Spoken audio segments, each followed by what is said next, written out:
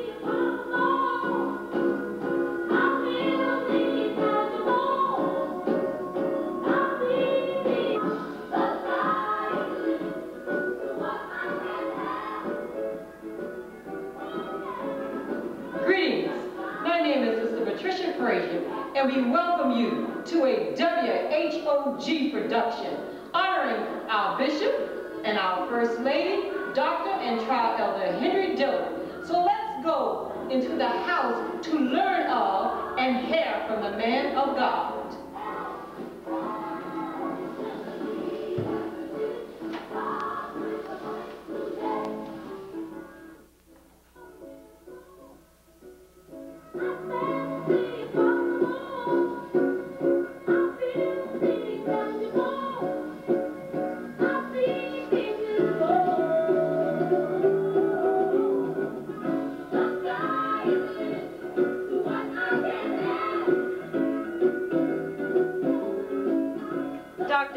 Dillard, born Henry Dillard, January 15, 1929, in Andalusia, Alabama, to Reverend Will and Reverend Mary Dillard.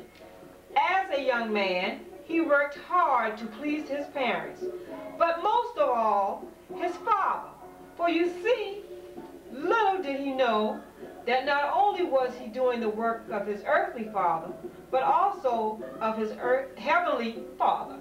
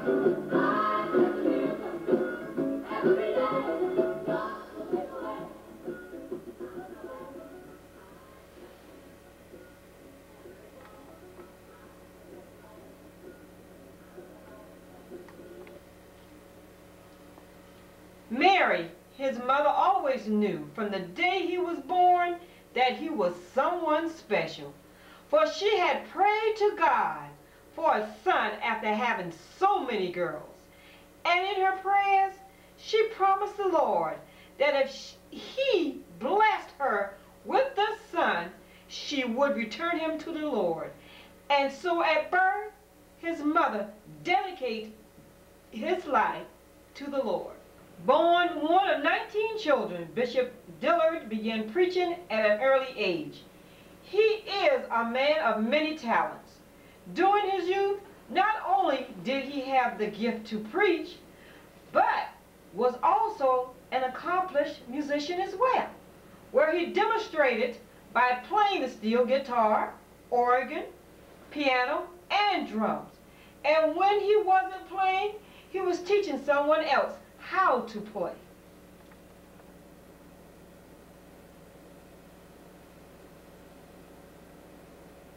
When he wasn't working for the Lord, which was very seldom, he would promote his own business as a general contractor in a partnership. But knowing that the Lord's work had to be done, he would later retire from contracting and became a full-time minister. Listen as he comes to us from one of his earlier messages.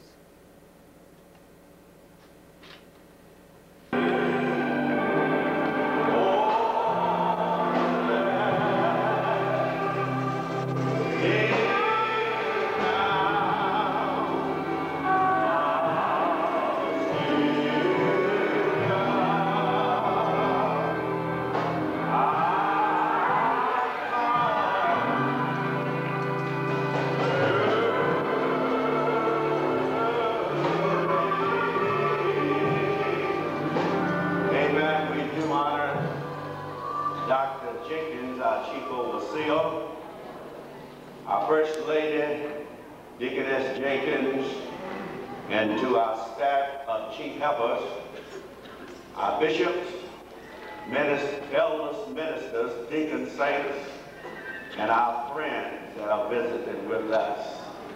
We thank God for the house of God, which is the church of the living God, the pillar and ground of the truth without controversy. Thank God for Mother Tate, the founder of the way. She is sleeping, but the work is very much alive. And I can say thank you, Jesus. When I began to look around and look forward and see the great gathering that we have today, this is Mother Tate's work. Amen. That's what I believe.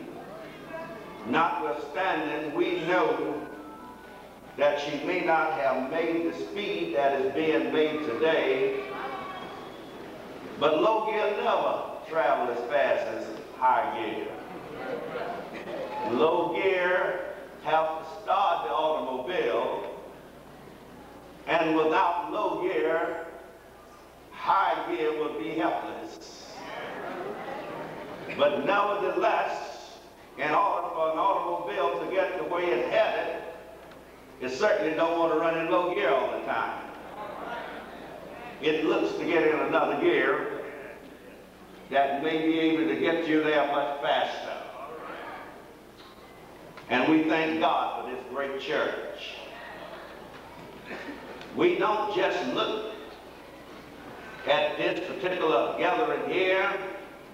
If you travel in various states, you can see the work of the house of God, which is the church of the living God, the and ground of the truth.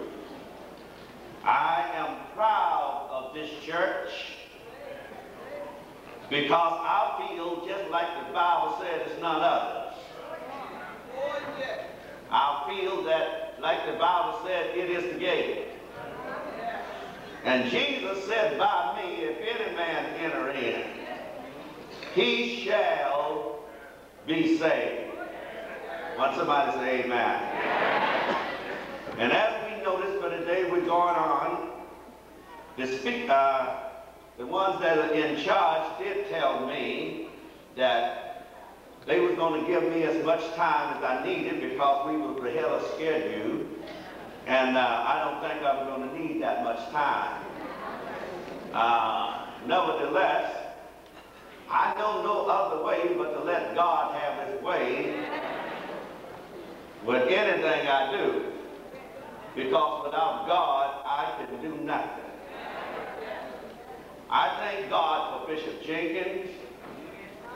Everything I am in the Lord, I owe it to him. Amen.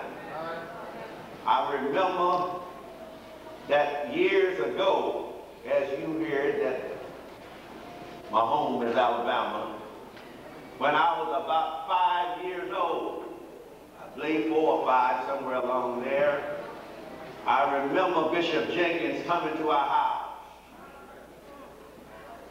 Amen. And when I was about, I believe about seven years old, I remember him coming there again. And I was a little boy way out on the farm there, and he came out there and stayed with us. Amen. And so you can see that Bishop Jenkins have known me for a long time. And I thank God for it. But we look today in the theme that we have for this occasion. The man of God with the vision. The man of God with a vision. Amen. Proverbs, the 29th chapter, the 18th verse, where there is no vision, the people perish. But he that keepeth the law, happy is he. Amen.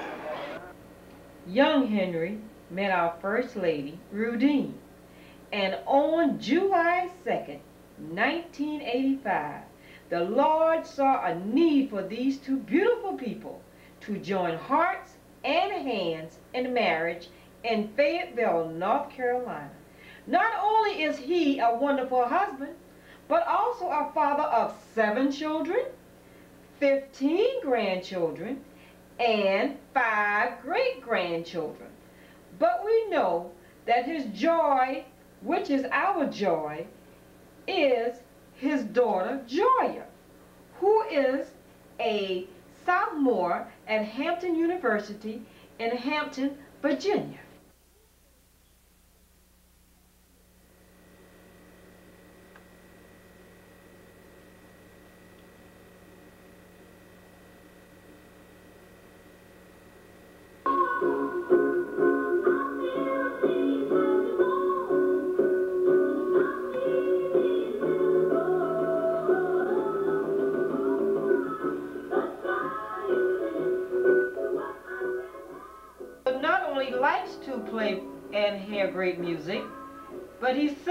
As well.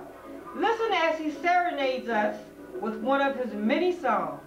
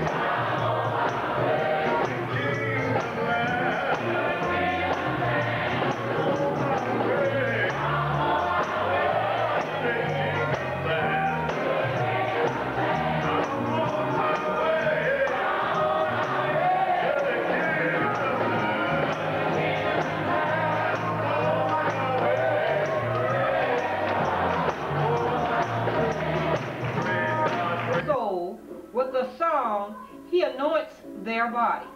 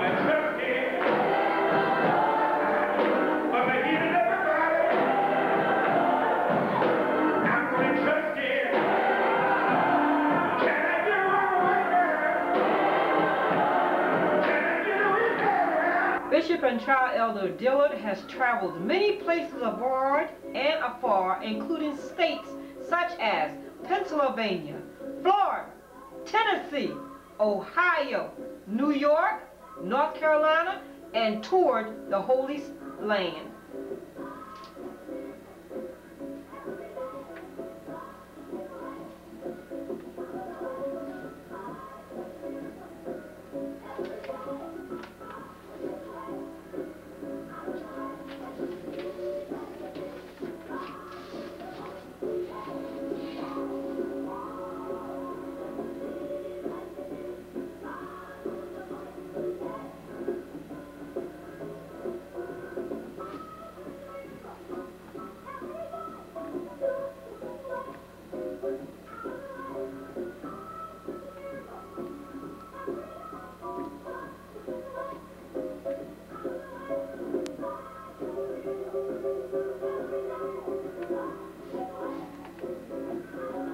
Dillard and Tri-Elder Rudine Dillard, we salute you on your anniversary. May God bless and keep the both of you in his care. And the sky is the limit.